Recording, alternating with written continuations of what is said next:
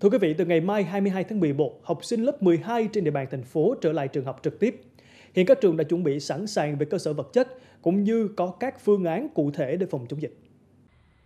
Tại trường Trung học phổ thông Hoàng Hoa Thám, hơn 400 học sinh lớp 12 sẽ đi học vào ngày mai. Để tạo mọi điều kiện tốt nhất cho các em, nhà trường đã chuẩn bị đầy đủ các thiết bị đo thân nhiệt cho học sinh, giáo viên, cũng như nước sát khuẩn, xà phòng rửa tay. Trong sáng nay, giáo viên nhà trường đã lau dọn khử khuẩn phòng học, trang thiết bị để sẵn sàng cho ngày trở lại của học sinh sau khoảng thời gian dài phải học trực tuyến. À, cũng lâu lắm rồi do dịch bệnh, vì vậy mà thầy trò chưa gặp nhau. Thì ngày mai là lớp 12 đến trường, thì thầy cô rất hào hức và làm công tác chuẩn bị lần này là lần thứ ba rồi.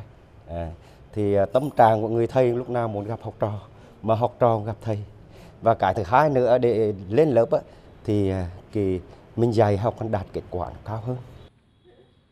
Theo quy định của Ủy ban Nhân dân thành phố, các trường hợp cán bộ, giáo viên, học sinh đang ở vùng dịch cấp độ 3 sẽ không được đến trường dạy và học trực tiếp. Các trường học đã rà soát địa bàn cư trú của học sinh, giáo viên và cập nhật liên tục tình hình diễn biến COVID-19 để có hướng dẫn phù hợp, tạo sự an tâm cho giáo viên, học sinh đến trường.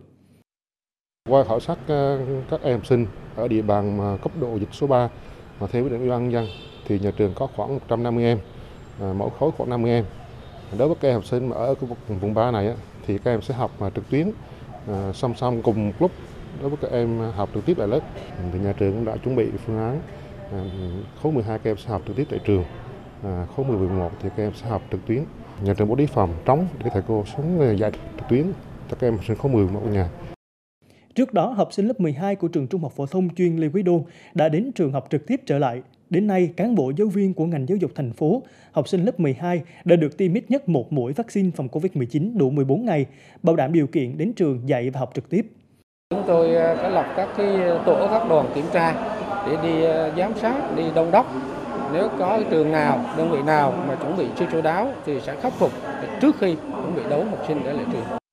Theo dự kiến, học sinh, học viên lớp 10 và lớp 11 sẽ đi học trực tiếp vào ngày 29 tháng 11. Thời gian đi học của trẻ mầm non, học sinh tiểu học, trung học cơ sở và các học viên khác học trực tiếp sẽ có thông báo sau.